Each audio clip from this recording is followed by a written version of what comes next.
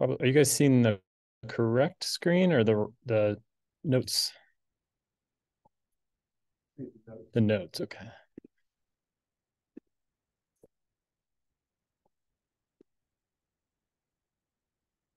Let's see, how do I? You still seeing the notes?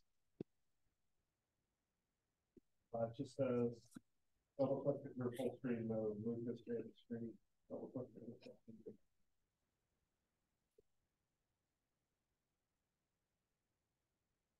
Try that. There you go. Okay, we're good. Cool. Yeah, that's okay. Um, all right. Well, thanks everybody for joining. Um, my name is uh, Luke Sheneman. I'm the Director of Research Computing and Data Services here at the University of Idaho. We're part of the Institute for Interdisciplinary Data Sciences. Um, and I do a lot of research myself in machine learning and especially computer vision um, and starting to delve a little bit more into language models. And so um, uh, last semester, I gave a series of three tech talks like this on how to do machine learning in Python. Um, we covered sort of the basics of using scikit-learn to do really basic stuff um, like random forests and, and, stuff like that. During that um, workshop, we made a little um, handwriting recognition system that could recognize numerals from the MNIST dataset. Um, then we moved on to doing stuff with generative adversarial networks and to be able to generate images using GANs um, in PyTorch, and then moved on to um, doing image segmentation for remote sensing data. So now we're going to be talking about something a little different, which is diffusion models, which combine both visual uh, uh, computer vision models and um, text and language models together into one sort of uh, cohesive model. Um, let's see if I can advance my slide. Yeah. Okay. So um, so generative artificial intelligence, right, has gotten a lot of attention recently. Um, you know, just in the last year, it's really exploded. Uh, that's certainly true um, with Chat GPT, all the stuff that Google and, and Microsoft and Anthropic and others, OpenAI, are doing with with large language models. Um, and right before that sort of all exploded, you know, everybody was talking about these um, uh, diffusion models, and so these were the models that are able to take a text prompt and generate some image, right? Um, something that's never been seen before, uh, based on just how you're prompting it. And that was really interesting. And so that's what we're going to be talking about today. Um, we still see a lot of stuff in the news if you have been following this recently about what's going on in the generative AI world, especially with OpenAI. Um, and they're doing a lot of exciting stuff. And I'll be talking a bit about some of the models that they they use um, here uh, in this presentation. But um, see. Come on, there you go. Okay, so generative AI really in a nutshell does this, right? It learns what we call a latent representation of a distribution from complex training data and then allows us to sample from that distribution. So we learn sort of the complex relationships and features and how those features are related in a very large data set. um, and then once we have that model, once we have that sort of latent representation, we can then sample from that distribution to create something new, um, something that maybe combines a lot of the features that it learned in a new and unique ways. And so what we're going to be doing today is actually we're going to be generating faces, human faces from a training set. Um, and so what the training data that you'll see here are um, similar to what's described on this slide, a bunch of 64 pixel by 64 pixel by three channel red green blue images. And um, we're going to ingest those learn about their features create a latent representation and then sample from that. So that's what we're going to do today. Um, and so you know diffusion models like the really top notch diffusion models like midjourney um, DALL-E um, stable diffusion you know they can do amazing things right? They can create even though they were trained on images that they they scraped from the internet or other places um, the the way they represent those in inside the model um, allows them to combine those features and, and, styles in new and unique ways, creating really um, cre- I won't say creative, but it's kind of creative looking images, right? Um, and diffusion works in a in a actually a kind of a relatively straightforward process. Um, it takes an when you're training a diffusion model, what you do is you start with uh, an image, and later we'll talk about how you start with both an image and its caption. But right now, just to just to do a diffusion model for images, you start with an image, and you gradually add noise to it. You add Gaussian noise. So Gaussian is like you know sort of like a mean, you know, a, a, normal distribution, right? You add Gaussian noise to that image in an incremental way, and you do it over a number of time steps quite a lot of time steps actually. So the really high end diffusion models will iterate over a thousand time steps to go from the original image to what is pure noise, right? You eventually get to a state of absolute pure noise where there's no signal anymore. That's called the forward diffusion process. And then uh, what you do is you train a neural network. In this case, we use a thing called a U-net, and I'll talk more about that in a minute. You train this U-net network to learn to denoise the image. So it learns as you as you corrupt the image, it learns how to uncorrupt the image. Um, and so uh, and that's great. You you learn all these things, uh, you know, ab- about how to denoise uh, as you go along, and then. Uh, so then when you go to sample from your distribution, what you do is you generate a purely random picture. Just a bunch of random pixels have no signal in them whatsoever and you denoise it in a stepwise fashion until you end up with something that you've never seen before. It's pretty cool. Um, so, uh, so I mentioned conditioning, and so what I, what I mean by conditioning is you can control that reverse diffusion process with things like text prompts. So if you provide a text prompt um, in natural language, like uh, this little this little uh, AI generated character here was from Midjourney, and the text prompt was a mini golden doodle in a space marine armor, right? And so it produced pretty much what you asked for, kind of a stylized version of it. But um, but that's what you got, right? And what happened was it started with nothing, it started with absolute noise. And every iterative step of the way, as it was denoising that perfectly noisy image, it conditioned itself to uh, create an image that was in alignment with the text prompt that you provided and we'll talk about how that how that works and how that happens and how you model language and images together um so you can do really creative things. You can combine concepts right? You can say like this is this person is half yoda and half gandalf right? And starting from absolute pure random noise in a stepwise way using what are called embeddings from your prompts you kind of guide the process until you get what you want in that stepwise way. We're stable diffusion is one of the large um, diffusion models that are available. It's open source. You can download it and run it right now on your laptop if you want to, right? It might be slow unless you have a big GPU, but it, will work.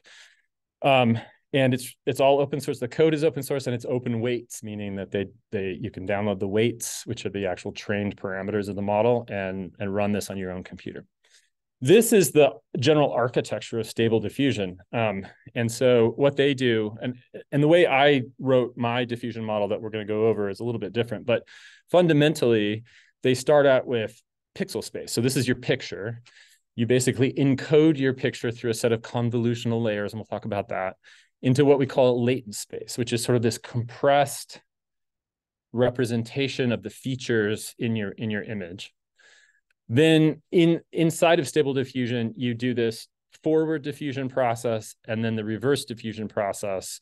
Um, and again, you use the U-net, which is this, this shape right here, and you're conditioned with what they call an embedding layer or a semantic map, which takes your prompts and again guides that U-net. And we'll be our my implementation is very similar to this um, except I do more things in pixel space rather than than latent space. But um, I think there might be advantages to doing it in latent space, and that's why they chose to do it. But makes it a little bit harder to explain and more complicated. Um, but anyway, that's that's the overall process: forward diffusion, learn to denoise, and then condition on the denoising process against your your text prompt. Um, okay, so I'm going to do this a really quick like I'm going to back up and talk a little bit more about fundamentals because I don't know where everybody uh, is as far as deep learning and what you know. Um, so I'm going to talk a little bit about stuff that we covered in the first three tech talks that I gave, which were machine learning basics, neural networks. What is a tensor? What is a convolutional neural network? Why are GPUs important? And why are we using PyTorch? Okay, so just basics, right? Machine learning is a data-driven method for creating models for prediction, optimization, classification, generation, and, and other things. Um, there's all sorts of things out there uh, in the Python world for machine learning. Python has become more or less the default predominant language used for um, for deep learning. You can do that other things in other languages like R, but but if you really want to get serious, and especially if you're doing stuff with computer vision, Python is is where you need to be. Um, there's libraries like scikit-learn, PyTorch, TensorFlow. Those are kind of the main frameworks. There are other frameworks as well, but those are kind of the layers that you use in order to to do your your machine learning. Um, and and so uh, what you can do and what you what I show you in, in this little example, and and this is something I covered in the first tech talk, is to use this really simple data set, which is a bunch of 28 by 28 grayscale images of handwritten digits, right? Which creates this data set called MNIST. And that's kind of like the hello world, the kind of the toy data set that everybody uses when they're learning computer vision. Um, because it's labeled too, right? So you have, you know, you have the the images, which are these tiny little 28 by 28 grayscale images, but along with them, you have what the actual labeled value is of that. And so you can learn to do handwriting recognition or, or, or all sorts of things. But fundamentally, you take your data and your labels, you train a network to then make a prediction. So in our case, we were trying to create something that could recognize hand, handwritten digits. We trained a neural network that can then output with different probabilities which which um, uh, uh, which uh, digit you wrote, and then you can pick from that probability, and, and that's your answer. And so um, that's kind of the basics. And so inside of neural networks, right, you typically have sort of your initial input layer and output layer and some number of hidden layers.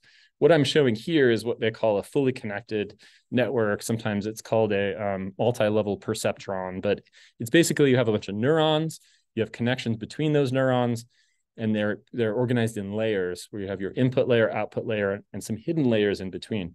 And what you try to do is modify these weights that are associated with the connections between the neurons. So those are your learnable parameters, right? Or your weights that you're trying to optimize. You also have something called bias, which is just another learnable, learnable parameter at the neuron itself that is something that you can you can learn too. Um, and so as you're feeding it data, and trying to optimize the network, all you're really doing is turning little dials on all of those parameters. And there can be millions or billions of parameters. Um, some of these large language models now have hundreds of billions of these tunable parameters, right? So imagine the computational complexity in trying to optimize that, right? We're not going to do anything at that level, but um, but that's that's sort of the gist, right? And this is again sort of intro to neural networks. You'll hear me talk a lot about tensors, and a tensor is really simple um, you know, there's that there's that Python package called TensorFlow, and uh, you know, and that's exactly what it does. It controls the flow of these tensors, and a tensor is just a data type that represents usually a, an array. Um, it can represent a scalar if it's rank zero, which is just a single value. It could represent a vector, which is a a, a linear list of values. Uh, a matrix, which is a 2D tensor, is rank two, and a 3D tensor. You can go up to 4D, 5D, 100D, whatever. Um, tensors can be arbitrary as far as the number of dimensions that they they have, but that's like the fundamental data type that all of the neural network um, packages work with are these tensors. Um, and so, like again, a fully connected neural network. Um, what you would do with that, with this MNIST data set, would you take your your 28 by 28 image, you'd linearize that, you know, turn it into a vector essentially, and that becomes your input layer, 28 uh, uh, well, I guess there's four, 784 once you linearize it, um, pixels in that 28 by 28 uh, image, and those become your inputs to your your fully connected network. And on your output side, you would have 10, 10 neurons, each one representing one of the 10 numeric digits. Um, and then you train that network, and you it's pretty easy to develop with this system uh, a system that can recognize hand, you know handwritten digits. Um, Okay, but that's great. But what we really want to do uh, next, sorry, uh, is be able to take images um, and extract features at different levels, right? And that's that's part of what you do in these fully connected networks in the hidden layers, is those sort of represent um, sort of higher order uh, features about the image. Um, and so what you're you're kind of trying to do is take your input images, condense it into a smaller number of internal nodes in your in your hidden layer that have to encode the same stuff, but sort of in a at a different scale. And so you start doing things like identifying edges or dark spots or light spots. Those become features that your hidden layers now pick up on. And after a while, as you go through your network, you're not talking about pixels anymore. You're talking about edges and bright spots and shapes. And you're not explicitly talking about those things. Your network learned itself that those were important and needs to pay attention to those. Um, but that's what happens. Um, and so you go from those things to mid-level features, like if we're talking about human faces, you have eyes and ears and noses. Those become features that your neural network like starts working with all the way up to like facial structures and things like that. Um, what you really what you really want to do with images though is not linearize them like this because you lose a lot of the spatial information. You, you know, everything becomes one big vector. You don't know if a pixel is adjacent to another pixel necessarily right? It's just one big line of, of values. And so what you do instead is you use these 2d filters. And so what you're doing here is applying uh, this filter um, which is just this three by three matrix that uh, uh, that I'm kind of highlighting here. Um, and you apply that in a sliding window approach over your input and do some matrix multiplication uh, uh, dot, dot products really. Um, and when you do that, what ends up happening is you detect edges. This matrix on the left detects as, detects edges as horizontally, and the matrix on the right, when you apply it in the sliding window fashion, detects vertical edges. So, okay, here's a set of filters that detect edges. Um, but what we want to do is use what we call a convolutional neural network, which is where you take these filters and you apply one filter for uh, to to uh, uh, an image uh, to extract what they call a feature uh, layer, and and you can apply any number of these filters to an image and extract deep feature layers. Okay, so this is called a feature. This the, in this particular iteration here, this is called a feature map. I can specify the number of channels I want or the number of filters that I want to apply, and it will do that through what they call a convolutional process. Um, and then typically what you do is you shrink down your spatial dimensions, your X, Y spatial dimensions of your image, and extend your feature map more deeply. So you're essentially compressing the spatial representation of your image, but you're extracting those edges and eyes and nose and whatever uh, in a more deep way, and then working with those. So can I ask a question? Yeah, go ahead. So can you actually quickly say a little more about convolution? So in the animation you had, it was like top left and had a very mm-hmm. systematic way. Is the idea of convolution that there's some other kind of systematic pattern, or I mean, that's typically what you do on on modern hardware like GPUs. It can do it like all in parallel, right? To do to do these computations um, really quickly. Uh, but but yeah, that sliding window approach is typically what you do, and and you specify usually a stride. Like you can you can actually like skip cells, and when you do that, you end up shrinking your dimensions of your image and things like that. Um, but yeah, it's re- very much a sliding window approach, and I th- think it's usually uh, kind of like you read a book is typically the the order in which those get, get happen happen unless you do them in parallel. Um, but yeah, the uh, the thing is though that when you're training like a convolutional neural network um, the filters, you don't specifically say, I want this Sobel filter for edge detection. You don't specify that. The neural network learns which filters it wants to apply. It basically learns to fill in these values in these are, what are called kernels.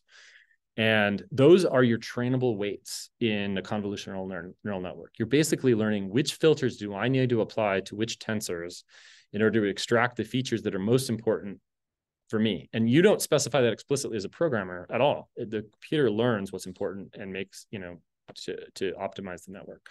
Um, and that's the whole process. And so you go through this stepwise approach, and we'll be using a convolutional neural, neural network for this diffusion model in in a minute, this one called a UNet model.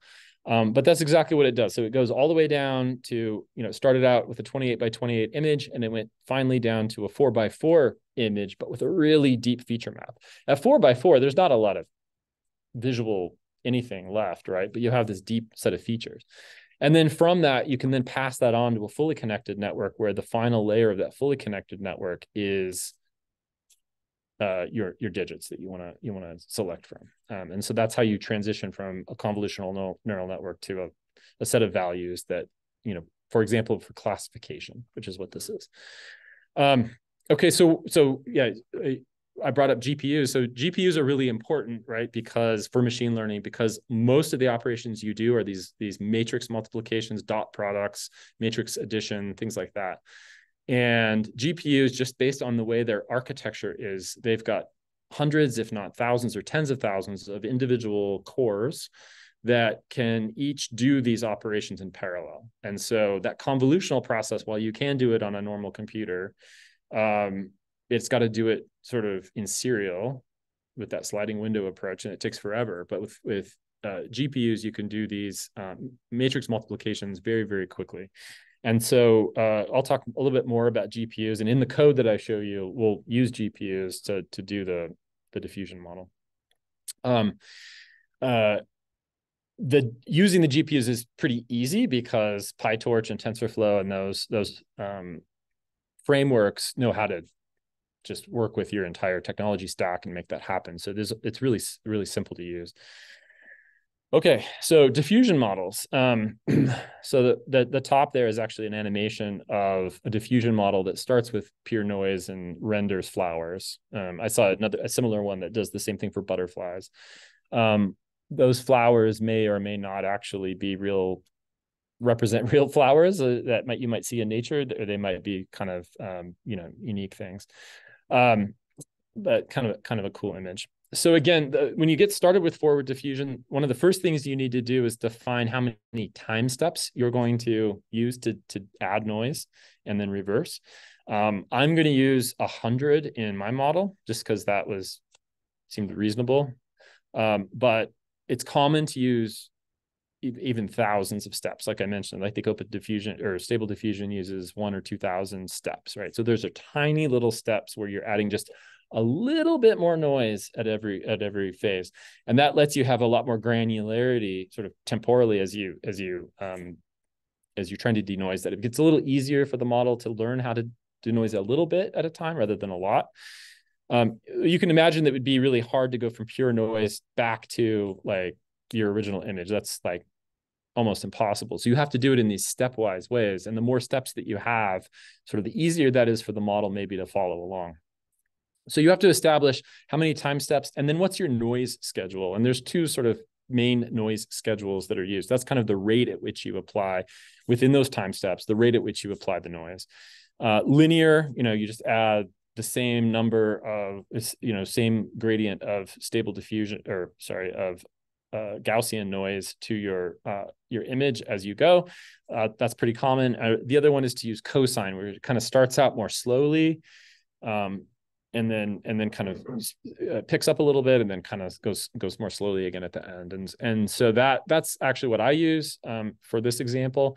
Um, you, there's other schedules that you can use, and I think there's probably a, an art and a science to picking a schedule that works really well for for you. I'm not exactly sure what like Stable Diffusion uses or any of the others, um, but cosine seemed to work for me.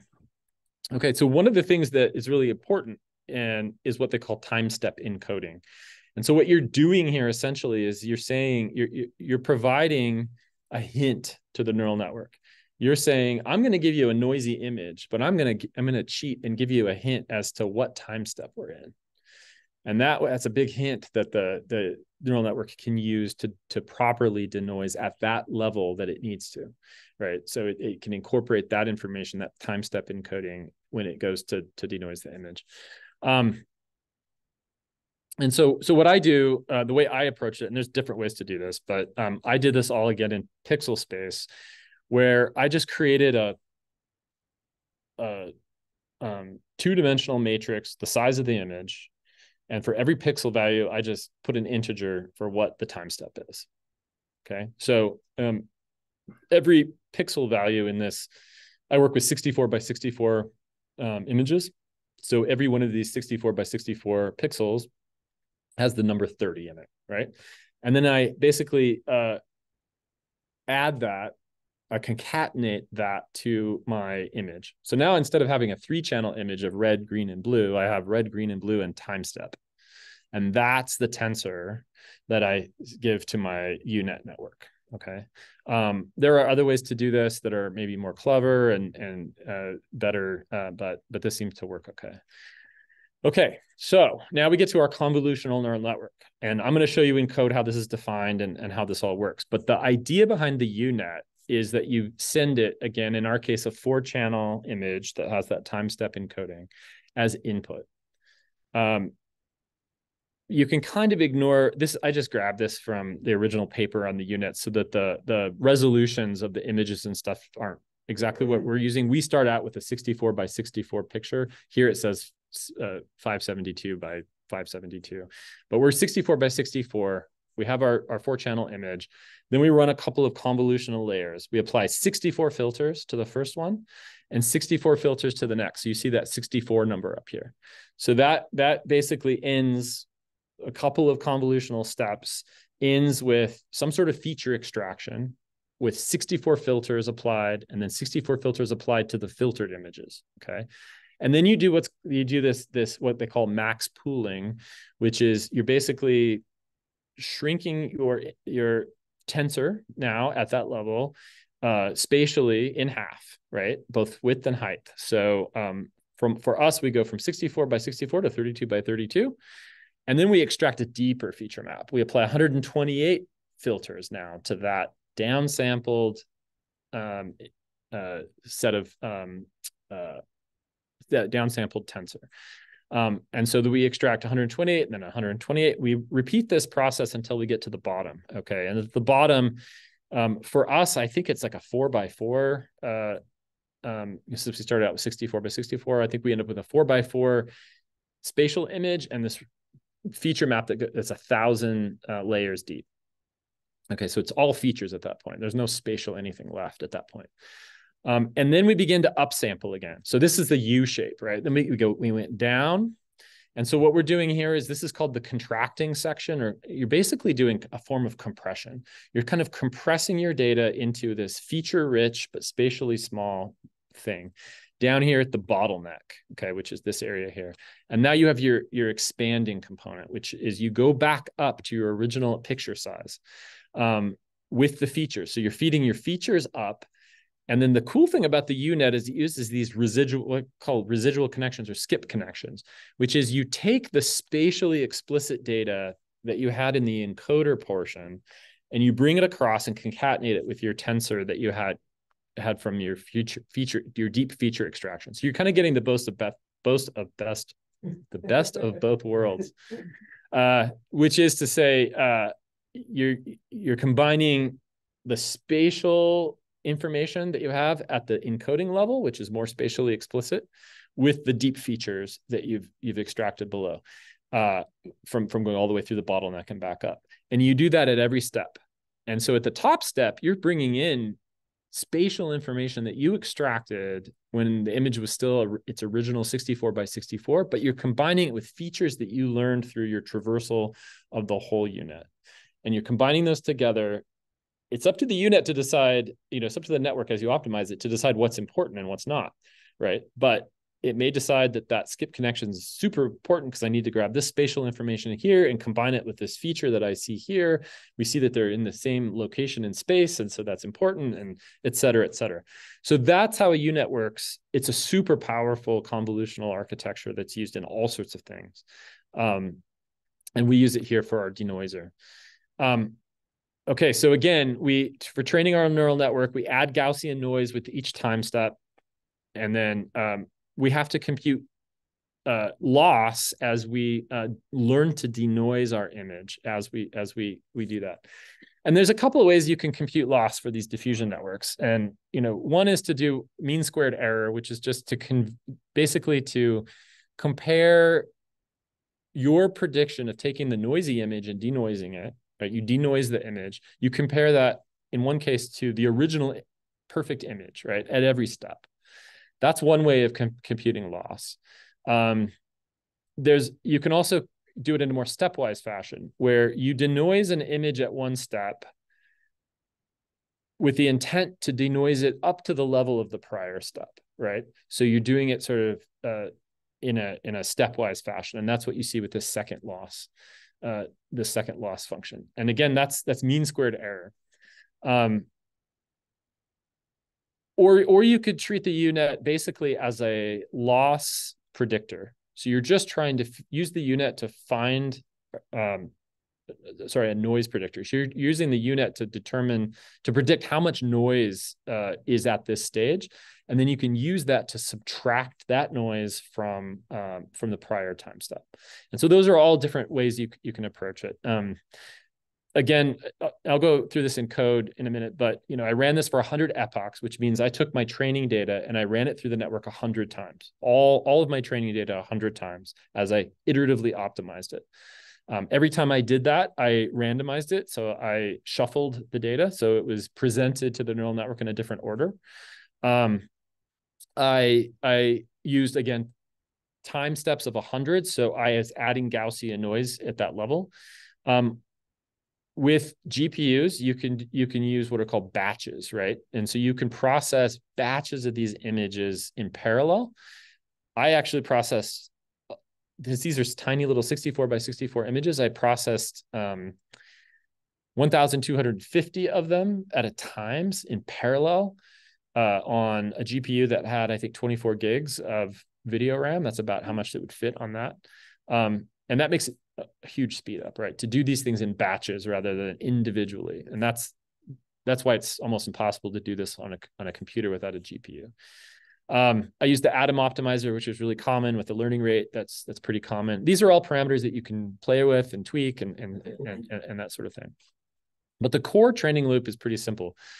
I determine my schedule from the cosine schedule, give it give, give that the number of time steps. It returns this list basically of what variance I need to apply at each step. Then for every epoch, for every batch, and for every time step in sort of that nested for loops, I would add Gaussian noise based on my schedule. I would use my neural network to predict, uh, you know, either a denoised image or predict the noise. I would compute my loss function, which is really important because what you're trying to do in your neural network is optimize your loss. You're trying to drive your loss to zero or or as low as you can. Um, and then you do the normal process, and I'm not going to get into it, but a backward propagation and optimization, which is where you are tweaking, you're tuning your dials, right, based on based on um, your loss that you you calculated. Um, so I used for this project um, what they called a celeb A data set, which is a bunch of celebrity faces with attributes. So th- there's over 200,000 uh, face images of various celebrities. Uh, there's, there's over 10,000 unique people. Um, and the names of the celebrities aren't given, but with that comes this really rich annotation of, for example, um, I think there's 40 different attributes that are binary. They either have it or they don't. Do they have glasses? Do they have a beard? Are they male? Are, you know, are they um, old? Are they fat. There's all sorts of different attributes here that are in the celebrity data set. And that, that's that's really, really uh, useful for what we're going to be doing next w- with this. And in the in the celeb data set, there's two different versions of that data set. There's sort of in the wild, which is like the celebrity sort of is a smaller part of a larger picture, sort of outdoors or wherever um, or there's kind of a cropped cropped and aligned right? Which means that their faces are sort of cropped to the same general shape and size and with their eyes kind of in the in the center right? So it's all kind of cropped and aligned. I use the cropped and aligned version of this data set for what i'm doing just because i think it was easier to learn um, and this was my preliminary output right? So uh, this is what i was able to sort of sort of learn right so this is sampling from the distribution that I learned from my celebrity data set, right? Um, for some reason, they all seem female. Um, uh, this one turned out really wonky. I'm not sure what happened with that one, but um, overall, you know, it did okay uh, for the size of data. Well, in fact, let me show you the next slide. Um, well, yeah, let me talk about this real quick. So what these uh, models do like stable diffusion especially you know is deal with everything at that 64 by 64 sort of postage stamp size and they emit that and then they use a different ai model to upsample it to get up to the 512 by 512 output that's pretty typical. You can go higher, you can go to 1024 by 1024 or whatever. But um uh and so here is actually, you know, my little postage stamp celebrity amalgamation um using another AI model to upsample it. And so that's that's pretty typical. So you know, it's a human face. It learned a human face um ish and again, it might not be terrific, but again, I only trained on 5,000 images for a couple of hours on a commodity GPU, whereas Stable Diffusion was trained on 600 million images, which took 256 top level GPUs over 150,000 uh, GPU hours, and it cost them about $600,000 to train, right? But you can see, you know, it paid off. This this bottom one is a Stable Diffusion, you know, fake person, and this is my fake person. But um, yeah, maybe a little bit more effort, we can get it better. But um, but anyway, super super fun, and I think you know some tweaking with time steps, with number of epochs, with um, my loss function, we can I can probably nail it. So within a 24 hour period or whatever, I could get some pretty good pretty good photos. I think. Um, not really my day job though. So, um, so again, I wanted to talk again about the UNet architecture because now we're going to be talking about okay, what I did here was what I did here was I didn't provide any prompt, right? I basically just fed it a uh, totally random 64 by 64 by 3 uh, set of values and it responded with a face, right? Um, there's no prompt. I didn't condition it at all. It's just pulling stuff from the ether to, to produce faces. Um, but now we're going to talk about conditioning. So how do you combine language models and the concept of language with images to constrain your your um, your your diffusion process. So again, this is stable diffusion, and what they do is they have this entire conditioning sort of chunk of what they what they have, which is they have a um, semantic map of um, what various uh, tokens mean. Right, a token is basically a, a word so what those what those words mean in the kind of context of the english language or whatever language you're using um, those those things are called embeddings and i'll talk a little bit more about that but but those embeddings represent like a deep understanding of that word in the context of the english language and when you put them together in a prompt it can put them together in a way that it kind of gets the gist of what kind of image you need to you need to produce and then guides the reverse diffusion process to produce that. Um, so when we talked about how i uh, pre-process the celebrity data set in order to uh, enable the sort of prompt stuff. So first of all even though the celebrity data set only had you know had like i don't know 200000 images or whatever of celebrities with captions and annotations um, I just used the first 5,000. I didn't have the time to let it run for a month, right? So I just used the first 5,000 images.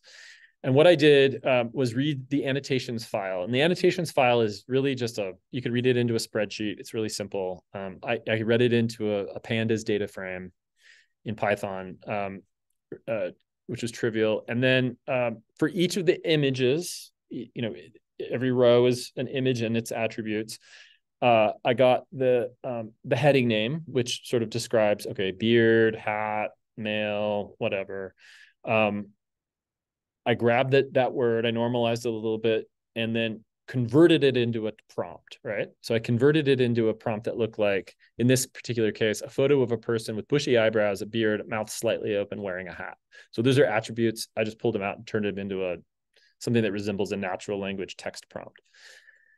Uh, Okay, so I have that. Then I crop the largest square from the image. The images that I got weren't square, and my algorithm needs a square image, right? So uh, I cropped the largest square I could find uh, out of the image, and then resize that square now to 64 by 64 by red, green, blue. Um, and then I use this thing called Clip. So Clip is a model from OpenAI that is open source, open weights, um, super easy to use. I'll talk about it in a second, but it can use that Clip model to uh, to find the image embeddings, which is again the semantic, what is in this picture in a semantic way, and what is in the prompt in a semantic way. And I'm, I'm able to get uh, I'm able to get those uh, embeddings from the prompt that I created here and the image. Um, and then uh, I create this big list of four tuples, right? Where I have the file name, the image as a as a NumPy array, uh, the image embedding, which is just a, a vector of numbers, um, and then the prompt embedding, which is the same.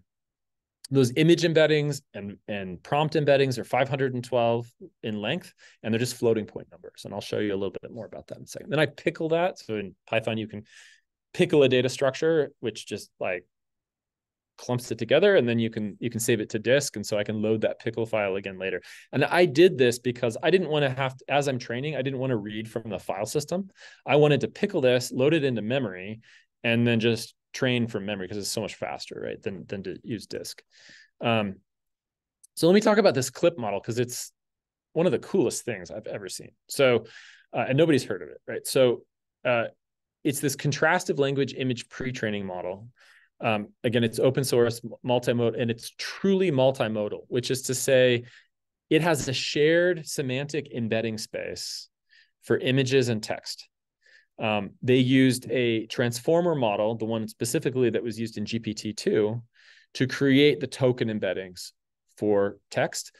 And then they used a transformer model, a vision transformer, to create token embeddings from images.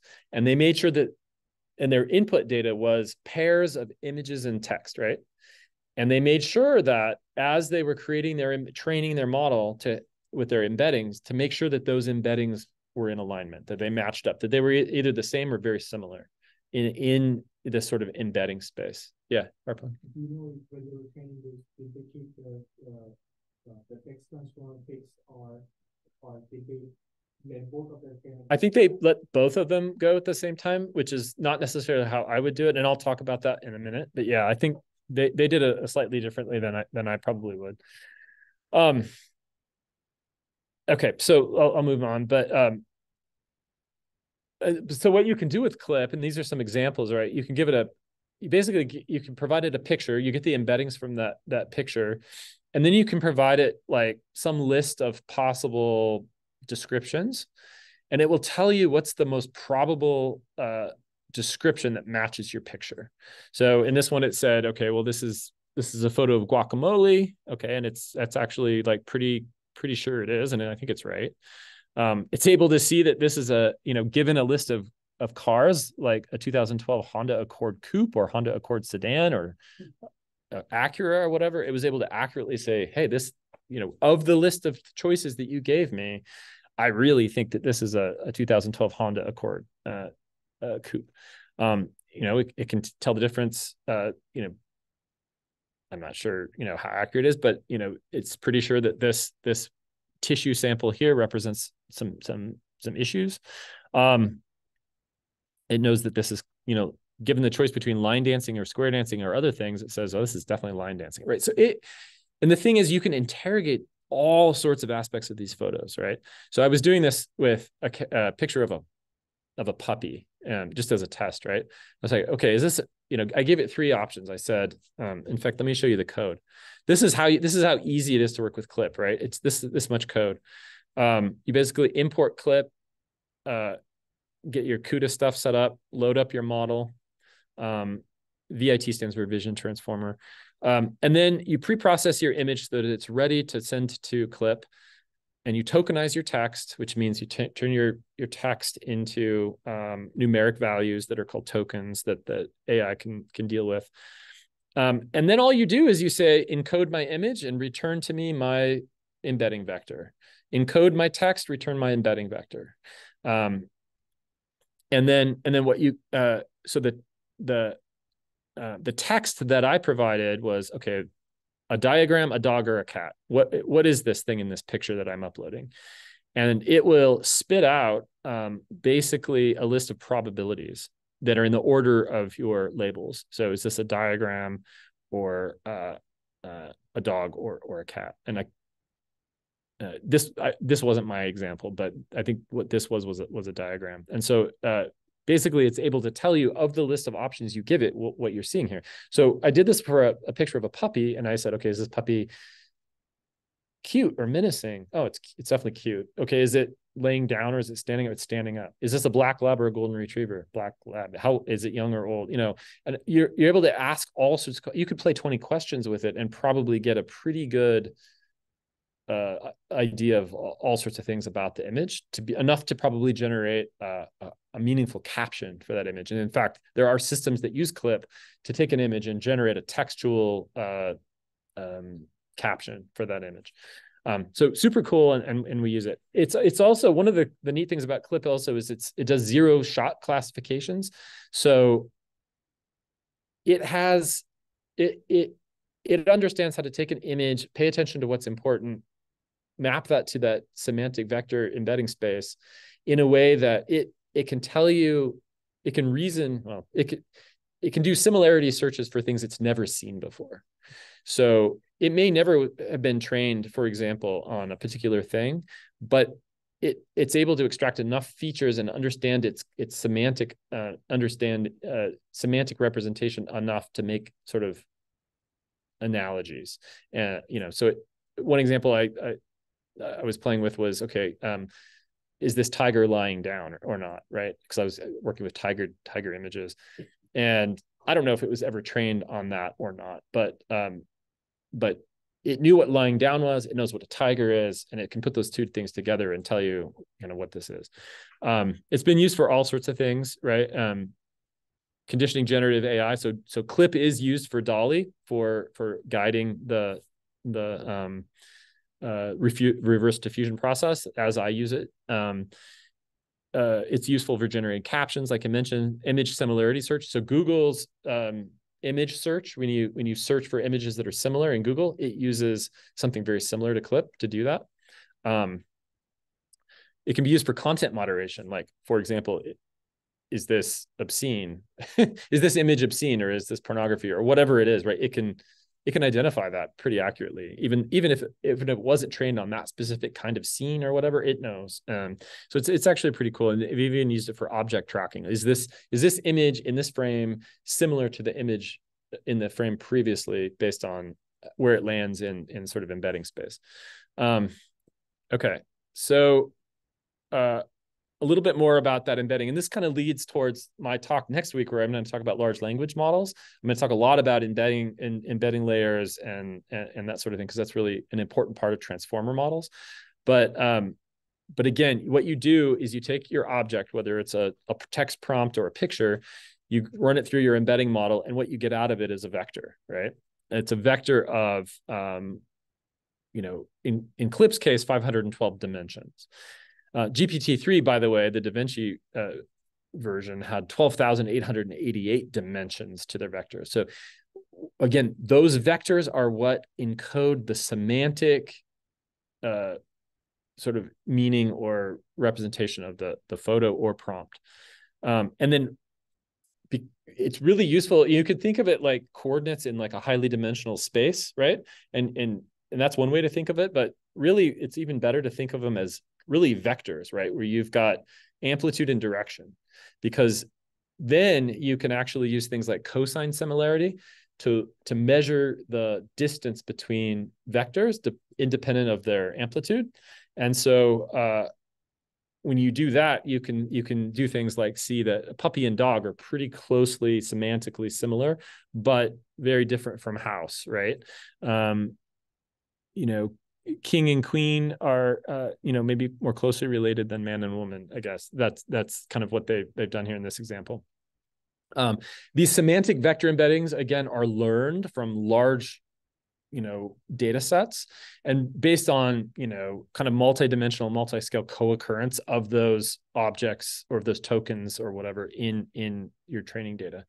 Um, so clip was trained on 400 million image text pairs um, and again, it took 256 large GPU servers two weeks to to build Clip, and now it's free for you to use and easy to use. So, um, but you can do those kind of sim- semantic similarity searches, and that's kind of what underlies how how Clip Clip works. Um, and so this is this is how I is getting to Arpan's question. His his like how, do, how does clip actually make sure that the embeddings between the images and the and the prompts line up? This is how i would approach it and i've read a little bit about how other people have done this too which is you take you take your your image, um, you run it through a convolutional encoder to get a sort of latent representation of that, um, and uh, and then take that uh, that output, linearize it, and then in your final layer, make sure that that uh, of your fully connected network, make sure that that's the same as your embedding vector length, vector embedding length. And then, uh, but before you do that, you you uh, use a transformer to learn the vector embeddings for the text, so that you you'll understand you know what what the vector embeddings for those are, and then you fix those. Those are now fixed and then you optimize this part of it so that they always try to line up right you're trying to optimize the output here of your picture to line up with your your caption. And you're you're what you're doing is you're controlling the the weights in your fully connected network and your convolutional network to get to that point where your images will now be in full alignment in vector uh, in embedding space with your your prompts. And so that's that's kind of the way i would approach it from scratch. Um, clip handles it a little bit differently where they kind of do both uh, kind of independently. Um, and I'm not quite sure exactly. You can read the. They have a paper out. You can you can read on exactly how they do it, but they um, they use transformers for both of them, and then they do do a process that CLIP stands for contrastive uh, language uh, something. Anyway, it's it's it's the way of um, trying to make sure that those things kind of align, and they do it in in a slightly different way. Um, okay, so now, okay, so now we want to take our uh, prompts that we give. So, you know, I generated faces. Now, with the training data that I gave it, right, I should be able to say, okay, I want a picture of a woman with glasses who's bald, right? I should be able to say that, and it should be able to generate that by conditioning the reverse diffusion process based on my prompt. And the way I would do that, first of all, is to make sure that the denoising algorithm knows the vector embeddings for my uh, prompt. Okay. Um, so how do I how do I tell the UNet about that? Well, my vector embeddings are through clip are 512 in length. And I happen to have a 512 uh, deep feature layer towards the bottom, towards the bottleneck here in my UNet. So what I'll simply do is take the values from my clip embeddings, um, my, that vector, and I will essentially add that, numerically add that to the feature map. And so what you're doing is you're basically like injecting the signal from the clip uh, prompt embeddings into the convolutional neural network so that it is aware now of kind of what what it is you're supposed to target. Okay, so that's part of it. Um, but now you need a new loss function, right? So you need to be able to now optimize your neural network um, so that you pay attention as you're denoising uh, to what the image is supposed to be, right? So you you penalize images that don't match your prompt, basically. Um, and remember, in you know, in, in the, your prompt and your um, uh, if you're using clip, your prompt and your image should be more or less in agreement or really similar to each other. And so if uh, so what I would what I what I would recommend, and this is what I'm I'm doing, I haven't yet implemented this. I'm hoping by next week, if you guys come back, I could show you what this looks like when it's implemented. But this is how I'm approaching it, right? Is I'm going to compute the loss as kind of a weighted linear combination of sim, you know, mean squared error. So trying to match the target image but conditioned on the cosine similarity of the two embedding vectors of the you get the embedding vectors of the image as you're denoising and you make sure that that is as close as possible to the embedding vector of your prompt and you do that at every stage in the in the denoising process um, and if you do that then then then i think you're good okay so uh so code i think we're almost out of time unfortunately but um, i do have the code up at this github uh, repo, github.com slash Sheneman, is my last name, slash diffusion.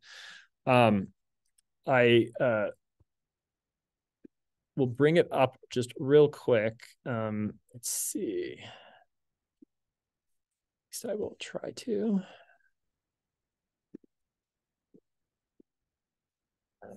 Okay. I think you guys can see that. Um, I am almost certainly in the wrong spot here, so image this in the way, get out of my way. Okay, so bear with me just one sec. And I know you probably have to go soon, but um, I just want to show you what this the code kind of looks like. So I'm logging right now into our high performance computing systems at RCDS, which is the unit that I I uh, help direct. Uh, we have, by the way, um, a lot of GPU nodes that are available. So if you, you know, some of them with a lot of memory. Um, and so if you want to train your own models um, and you don't have an account on our systems, please come see me um, or send me an email or follow up somehow. Um, our website is hpc.uidaho.edu and you can request an account um, and then get access to those GPUs for, for this kind of stuff. Um, uh, okay, so if you look at, if you look at that, uh, um, GitHub repo, you'll see you'll see this code here. Um, the I'm gonna is it oh it's not showing up. Okay.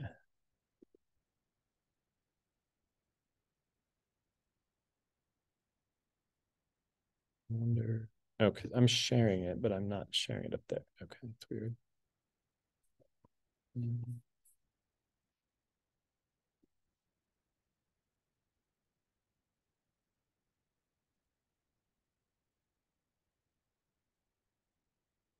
Let me get out of this.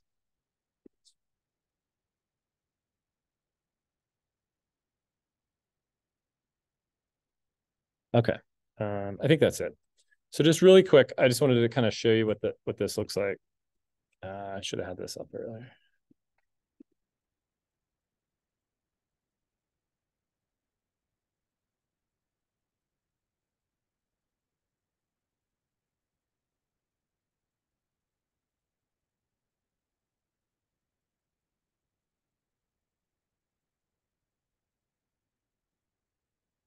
Okay. Uh, yeah. So, um, really quickly, I'm just kind of going to go through this. There's only like three files that are really important, and then and then I'll call it good here. But there's there's a unet.py file which defines that unet architecture, and this uses the PyTorch um, sort of functional uh, um, sort of description of, of how to build a uh, an architecture. I developed these convolutional blocks, which are these two-dimensional convolutions um, with some batch normalization and an activation function. Um, the encoder blocks are the ones that sort of descend in the UNet, right? Those are the ones that are that descend. Um, those are the encoder blocks. The decoder blocks are the ones on the right side of the UNet. And the important part with those is that they connect then with through that that skip connection to or, or residual connection back to the other side of the network. Um, and so this is our definition for our, our neural network architecture. Um, and the UNet itself, you know, it's got these encoder encoding layers that that get uh, progressively more filters as they go down. Um, they go down to the sort of the center or the the um, uh, the um, what's the name of it uh bottleneck and then they go back up and then um and then they make that connection. So this is pretty easy to follow. Once you kind of look at it for like 10 minutes, you'll you'll understand exactly how this this is put together.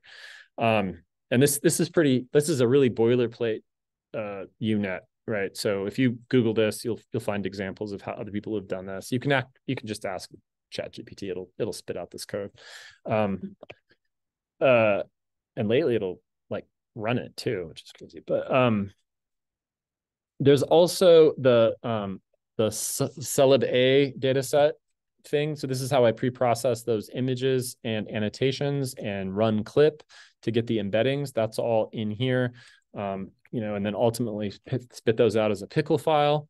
That's where you get those.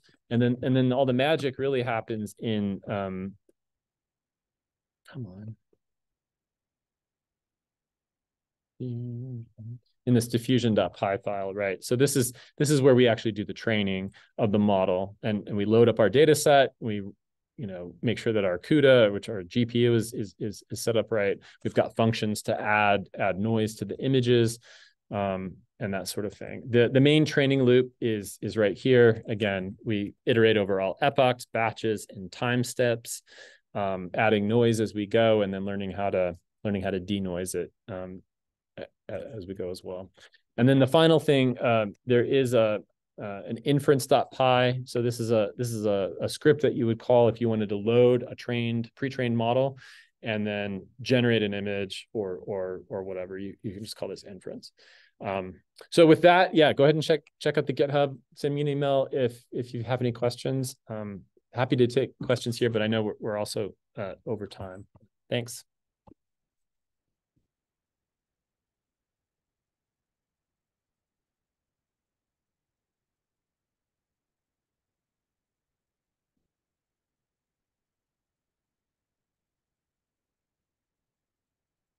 Okay, I guess no questions. All right, thanks everybody in in Zoom land.